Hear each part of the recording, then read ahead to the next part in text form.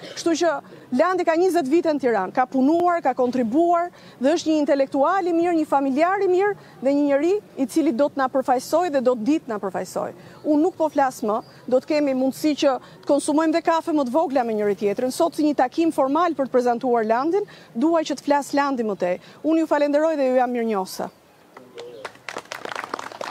Faleminderit Oriela. Mirë se keni ardhur dhe mirë se ju gjeta. Në fakt jeni shumë këtu dhe kjo më jep një kënaqësi të veçantë, pasi jam në zemër të lagjes Ali Demi, një lagje ku me njerëz bujarë, me njerëz të cilët e dinë ç'është respekti, e dinë ç'është mikpritja dhe dinë të vlerësojnë me qetësi atë që është më e mira për jo vetëm për veten e tyre, por për gjithë komunitetin e Tiranës. Është kënaqësi të jem këtu sot tek ju, edhe për faktin që nuk vij thjesht si një partiak, por vij si një kandidat për kryetar bashkie, natyrisht në një ditë të vështirë dhe me një mision mbi supet e mia, i cili është i dyfishtë. E para është sepse të gjithë ata që janë demokratë, të gjithë ata që janë të djathtë, po dhe të gjithë ata që janë qytetarë, që mendojnë se Shqipëria është në një rrezik të madh për shkak të demokracisë dhe për shkak të kriminalitetit që i është bërë ekonomisë dhe nga ana tjetër për faktin se bashkia kërkon një alternativë të re, të dyja këto argumenta për mua janë një barrë e rëndësishme e konsiderueshme dhe një përgjegjësi shumë e madhe. E shikoj veten në një mision, sepse nuk përfaqësoj thjesht qëllimet e mia, interesat e mia personale apo interesat e mia të karrierës. Unë përfaqësoj këtu, jam i bindur që gjithë demokratët që rezistuan në këtë një vit e gjysmë, të një sherri të madh që është futur brenda Partisë Demokratike, për arsyet personale të një njeriu që ne në fakt kush është demokrat i vjetër këtu dhe shoh shumë fytyra të njohura, që të kohëve të vjetra, por edhe ata që janë të rinj, duhet ta kuptojnë që ja kemi, i kemi bërë të gjitha për të. U bë kryeministër, u bë president, u bë kryetar partie, u bë prapë kryeministër. Pra, ka mbaruar historia, domethënë, për dikë dhe duhet të fillojë një histori e re për të tjerët.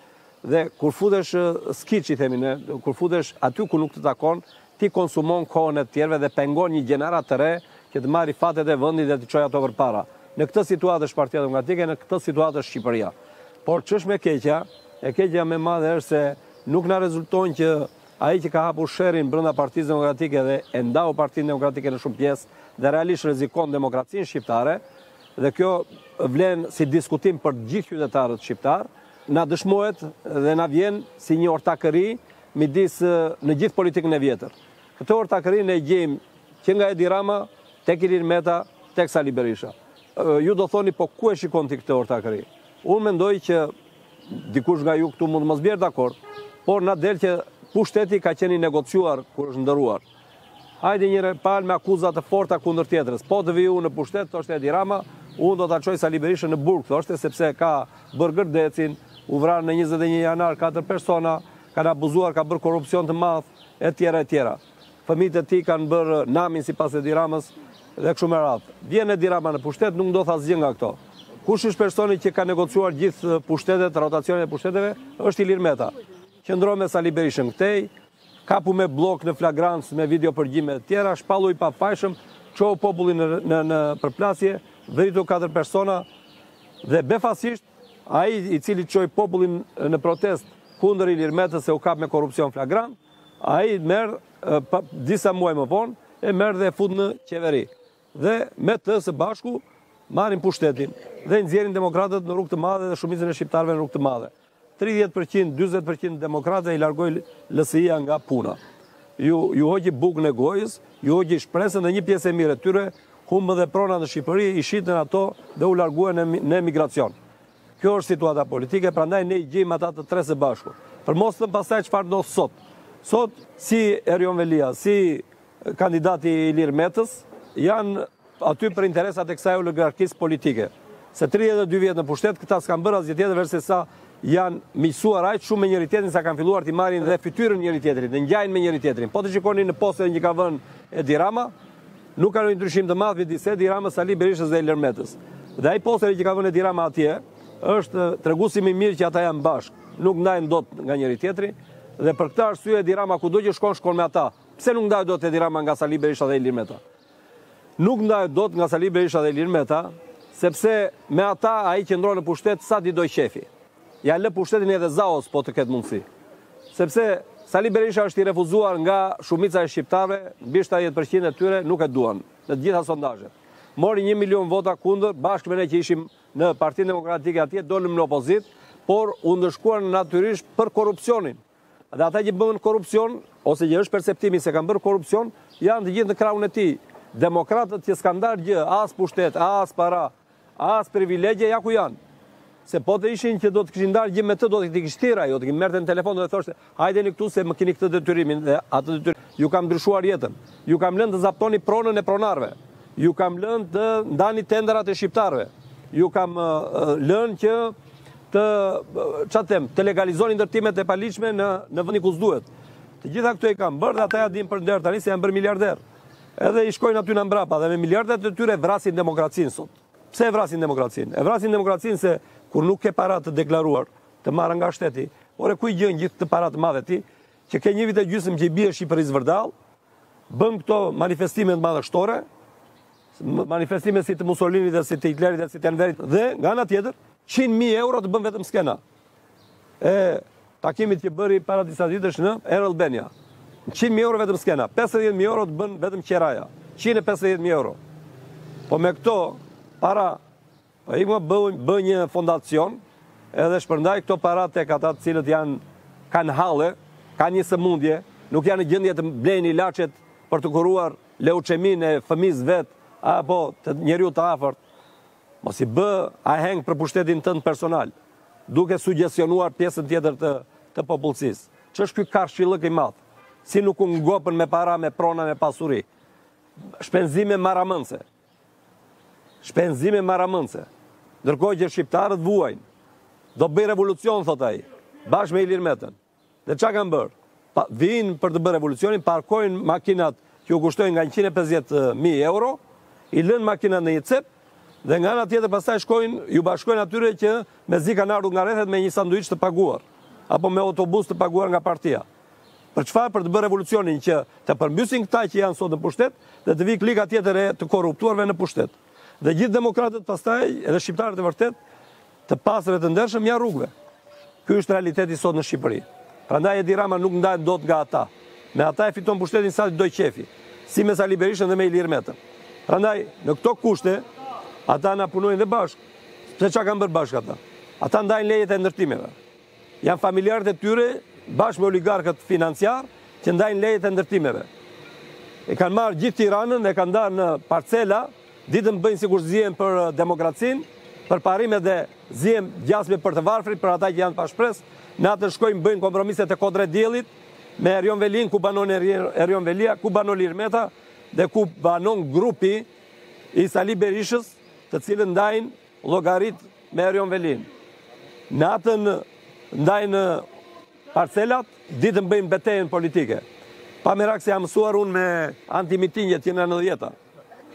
Na e bënë për herë të parë enveristët kur çuam studentët në grevën e urisë, nëntëdhjetenjëshin, dhe erdhën enveristët na sulmuan. Në janar të nëntëdhjetenjëshit, kur bëmë mitingun e parë PD-së në Gjirokastër, ku kish ardhur Leka Meksi me Ben Imamin e Ridvan Peshkëpinë, Na erdhën vullnetarët e Enverit, Tomor, se Tomori është këtu, është nga Tepelena, na u futën në mes të turmës, na sulmuan me leva, me lopata, dhe xhenjere, me gurë, me çfarë duash. Dumbabistët, se ata donin Enverin që ta kthenin në pushtet. Dumbabistët janë njësoj. Dumbabistët janë ata që duan babën, domethënë nuk ndahen dot nga baba. Dumbabistët kanë dalë që në kohën e xhonturqve. Domethënë turqve të rinj dolën sepse donin akoma turqit e vjetër. Pastaj erdhën me Haxhi Qamilin, pastaj na erdhën me enveristët në nëntëdhjetën, pastaj vdiq Enveri, kishte Enveri nja 5-6 vjet që kish vdekur, kish rënë gjithë lindja komuniste, ngeli Ramiz Alia. U çuan dhe mbronin Ramiz Alinë. Tani na mbrojnë Xhaxhi Salinë. Ja kjo është historia. Gjithë dumbabistët janë njësoj. Shqipërinë ne nuk do ta lëmë në dorë të oligarkisë politike, në dorë të oligarkisë ekonomike dhe në financiare dhe në dorë të krimit të organizuar. Shqiptarët e kanë për detyrë të japin një grusht të fortë datën katërmbëdhjetë këtij regjimi dhe ta dërrmojnë atë, sepse do të çlirohen prej tyre. Duhet të jetë fillimi i fundit të këtij regjimi tridhjetë e dy vjeçar që e ka marrë qafë Shqipërinë. Dhe ne i japim shansin që ta bëjnë këta qytetarë shqiptarë sepse rezistuam ndaj të keqes. Është hera e parë që brenda Partisë Demokratike ka një rezistencë të tillë kaq të madhe demokratësh kundër atij të cilit i kanë dalë borxhi demokratët dhe e kanë bërë të gjitha. Është hera e parë se nuk është kundër një individi, është kundër berishizmit. Prandaj, ne jo vetëm që do rezistojmë, po do ngrihemi fuqishëm dhe do të marrim votat në datën 14 maj për të dëshmuar që Partia Demokratike do të ketë një perspektivë euroatlantike, një perspektivë europiane. Kështu që, të bashkuar kështu siç jemi, të ftojmë dhe qytetarët e tjerë të votojnë alternativën tonë. Cila është alternativa jonë? Alternativa jonë është që ta largojmë këtë të keqe nga pushteti, që i ka zënë frymën Tiranës. Sepse ata, siç ndajnë Tiranën në copa, ashtu ndajnë edhe Shqipërinë. Kështu e ka ndarë të gjithë, për oligarkët e ka ndarë. Pronarët më të mëdhenj në Shqipëri janë oligarkët. Unë nuk jam kundër biznesit të madh, jam pro. Po biznes i madh me rregulla, biznes i madh me rregullat e ekonomisë së tregut, me rregullat e konkurrencës dhe me meritokraci. Jo me ligje qeverie, lësho një dekret Edi Rama, lësho një VKM, lësho një ligj, edhe pasuro u X-i, Y-i. Frika më e madhe që kanë qytetarët sot në Tiranë, ku urdhëron Edi Rama dhe zbaton Erion Veliaj, se këta të dy çirak të Erioni është çiraku i Edi Ramës, ky tjetri që ka dalë si demokrat po i strehuar tek LSI-ja dhe me një program të majtë, është çiraku i Ilir Metës dhe i Sali Berishës. Po mbi të gjitha dhe i Ilir Metës.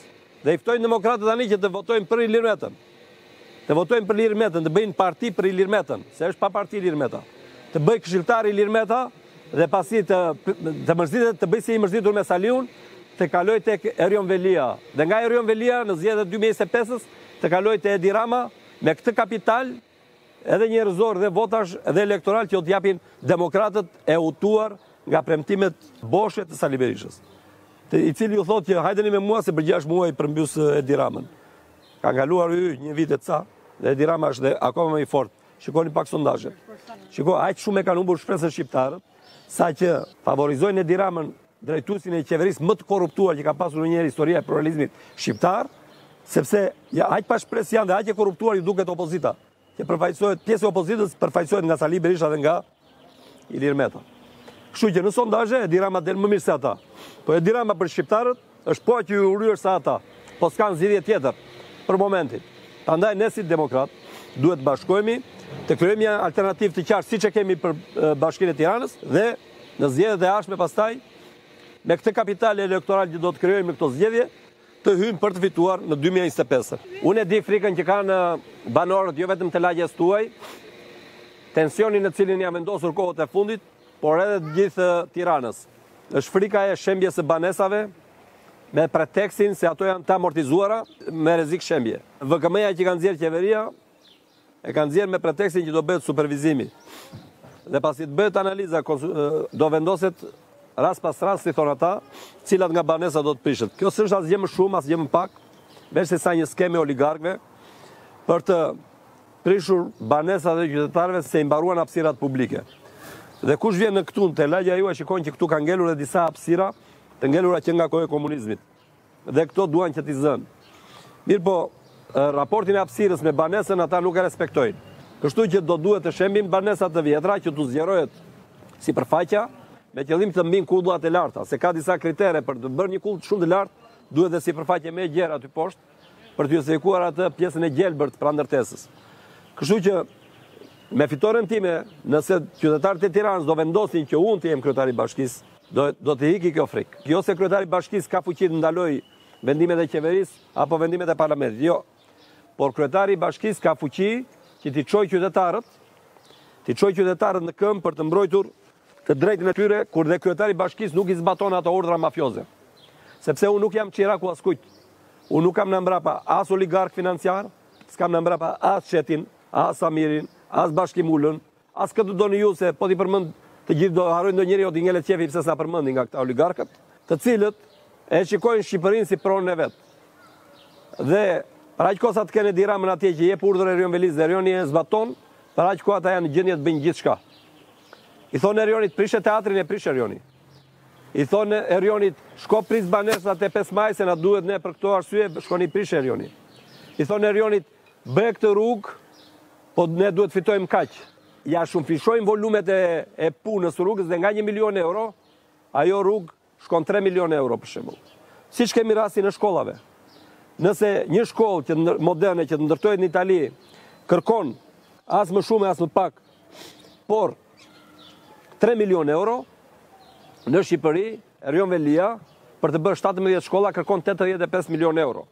Për të njëjtat metra katror, në Itali bëhet me pesëdhjetë milionë euro.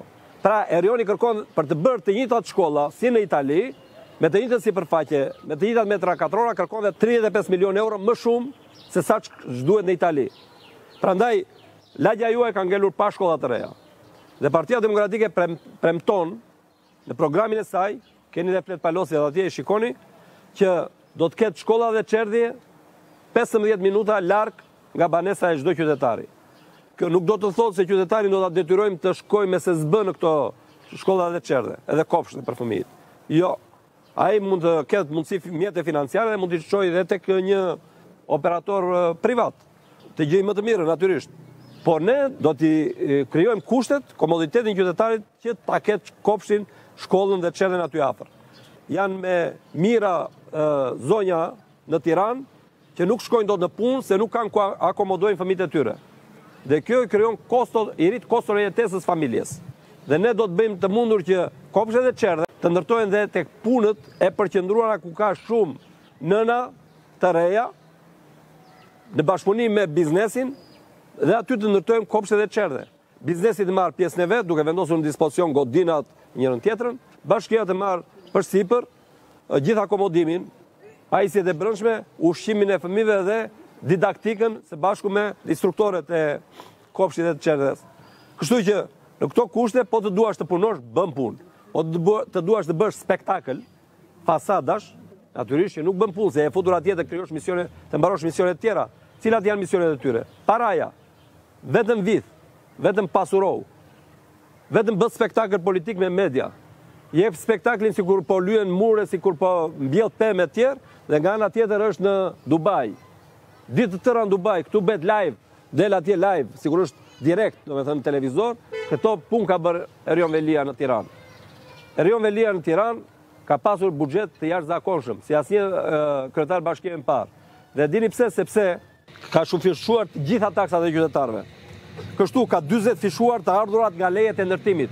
Për të gjithë ata që merren me ndërtim, megjithëse ku ka këtu të merresh me ndërtim se ai ua jep tre katër firmave dhe tre katër firma pastaj punojnë me të tjerët me nënkontraktor. Dhe një parantezë se mos kenë ndonjë keqkuptim këtu të thotë ore po do na mbyllësh ndërtimet fare. Jo mor jo, jemi për ndërtimet. Por nuk jemi për kullat e larta në mes të Tiranës dhe në mes të hapësirave publike si këtu, t'u vijë dikush të ndërtojë një kullë të lartë dhe të gjitha këto Pallatet dalin jashtë funksionit, se u vritet dielli, ajri, drita, hapësira e gjithë tjerët. Dhe bie vlera e shpisë, nuk vjen ta blejë njeri shpinë ty kur ballkoni jot apo dhoma jote e gjumit bie tek dhoma e hotelit apo qendrës së biznesit që do të bëjë kryetari i bashkisë. Ka katërfishuar taksën për metër katror Për të gjitha ndërtimet. Ka dhjetëfishuar të gjitha lejet e ndërtimit për çdo vit. Në këto kushte prandaj ka dalë ndërtimi, çmimi i ndërtimeve kaq lart. Jo se është rritur vlera e e pronave në Shqipëri. Jo, po janë një pikë gjashtë miliardë euro që krimi i organizuar ka pastruar, e kanë kthyer Shqipërinë dhe sidomos Tiranën në lavatriçe parash të pista. Dhe kjo ka bërë që të rritet çmimi i banesave që çiftet e reja, po edhe të pastrehët nuk kanë mundësi t'i blejnë. U duhet të punojnë katër pesë jetë që të blejnë një apartament. Ky është realiteti në Tiranë. Mos flasim pastaj për mungesën e parkimeve. Ça premtojmë ne për parkinget? Ne për parkinget premtojmë që në çdo qendër lagjeje do jetë një parkim i bashkisë mbi dhe nëntokësor. Mbitokësor me disa kate, nëntokësor me disa kate. Dhe jo vetëm kaq, Po bashkia në çdo ndërtim që jep merr 3%-shin. 3% për të pastrehët. Dhe 3%-shi duhet ta marrë objekt. Bashkia e merr para dhe këto para i çon te inceneratorët, i çon për të tjera shpenzime, për koncerte, për fasada që bën Erion Veliaj. Jo, ne do ta marrim në natyrë, do ta marrim objekt, me qëllim që aty të strehojmë të pastrehët. Të, të strehojmë të pastrehët. Mos t'i ngarkojmë ata me barrë kredie, por përkundrazi, të vijnë të futen aty, ta gëzojnë shpinë e tyre dhe sidomos çiftet e reja. Dhe të tilla politika sociale do të bëjë bashkia, sepse i ka mundësi të bëjë. Ku do të gjejë paratë? Do të gjejë paratë se sot informaliteti në Shqipëri dhe sidomos në Tiranë është kur themi informaliteti, ekonomia e pistë është 45 deri në 55%. Është jashtëzakonisht shumë, prandaj nuk vijnë investitorë të huaj në Shqipëri. Si hedh njeri paratë në një vend që ka informalitet të llahtarshëm. Do të thotë që ka fshehje taksave. Ne do t'i ulim taksat 50% gjitha, Dhe duke ulur taksat do të ketë të tjerët do të dhe ata që s'paguajnë do paguajnë me qejf, se paguajnë më pak taksa. Kështu që do rriten të ardhurat. Dhe ne pre, presim të fitojmë nga këto taksa që do rriten rreth 40 milionë euro. Ndërkohë që me taksat që do heqim, që janë taksa e infrastrukturës rrugore, duke ulur dhe taksat e tjera dhe sidomos duke përgjysmuar taksën e mjedisit dhe duke liruar operatorët turistikë nga taksat që s'do paguajnë fare, gjithë gjithë këto venë 16 milionë euro. Pra, do të fitojmë dyzet e pesë milionë euro duke formalizuar bizneset, do të humbasim vetëm gjashtëmbëdhjetë milionë euro, të cilat përmirësojnë xhepat e qytetarëve shqiptarë që nuk do paguajnë taksa të cilat nuk u kthehen mbrapsht. Sepse paguajnë taksa për infrastrukturën shkollore dhe nuk janë ndërtuar shkolla. Paguajnë taksa për infrastrukturën sportive, nuk ka terrene sportive. I kanë kthyer të gjitha në beton. Tetë milionë metër katrorë ka dhënë Erion Veliaj, beton, në tetë vite. I bie një milionë një milion metër katror në vit. Buxhetin në raport me Edi Ramën e ka 7 herë më të lartë, në raport me Lulzim Bashën e ka 13 herë më të lartë Erion Veliaj. Ka 120 milion që i sigurohen nga të ardhura, sidomos nga taksa për ndërtimin dhe infrastrukturën ndërtimore, dhe pjesën tjetër ia jep qeveria dhe donatorët. Ku venë gjithë këto para? Ne nuk premtojmë dot transport falas. Është budallallëk. Është gënjeshtër, bëhet vetëm për efekte elektorale. 400 lekë është bileta. Kostoja e transportit është më e lartë se 400 lekë. Të gjithë këtë e subvencionon e mbështet bashkia. Por ne do të subvencionojmë ama qytetarët që nuk kanë mundësi të paguajnë ta paguajnë transportin publik. Duke futur të gjithë personat në nevojë, ata që janë të papunë edhe studentët si dhe maturantët do t'ua subvencionojë shteti që